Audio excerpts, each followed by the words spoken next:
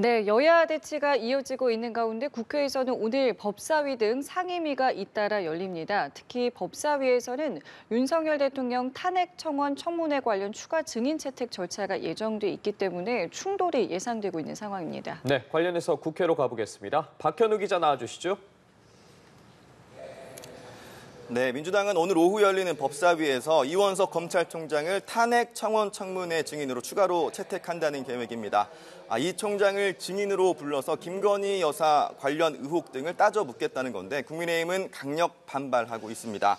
추경 원내대표는 민주당이 이재명 전 대표 수사의 총괄 책임자인 검찰총장까지 증인으로 부르려 한다면서 피의자가 국회 권력을 가지고 검찰을 때려 눕히겠다는 것이라고 지적했습니다.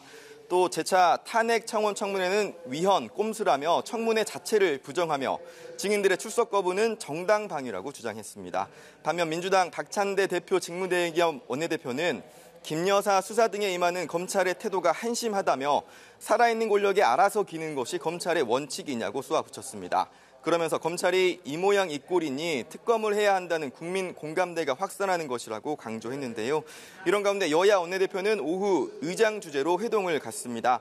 22대 국회 개원 일정 등 의사 일정이 논의될 것으로 보이는데 추 원내대표 연금개혁 여야정 협의체와 세제 개편 등 민생 관련 논의를 야당에 제안했습니다. 박찬대 직무대행은 국민의힘이 윤 대통령 부부 방탄에만 목숨을 걸고 있다면서 한쪽이 억지와 목리를 부리는데 대화와 타협이 가능하겠느냐고 지적했습니다. 네, 여야 전당대회 상황도 살펴보죠. 어제 국민의힘 충청권 합동연설회 청중석에서 벌어진 몸싸움에 대한 후폭풍 좀 어떻습니까? 네, 저도 어제 그 현장에 있었는데요. 연설회에서 한동훈 후보가 연단에 오르자 청중석에서는 배신자라는 외침이 어, 터져 나왔습니다. 원희룡 후보 지지자로 추정되는 인물을 경호원들이 밖으로 내보내는 과정에서 한 후보 지지자들과 몸싸움이 있었는데요.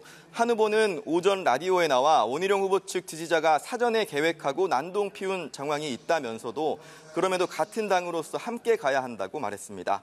원 후보 측은 몸싸움 당사자가 자신의 지지자인지는 확실치 않다면서도 전에 없던 팬클럽 행태가 당에 유입되면서 생긴 일이라며 화살을 한 후보에게 돌렸습니다.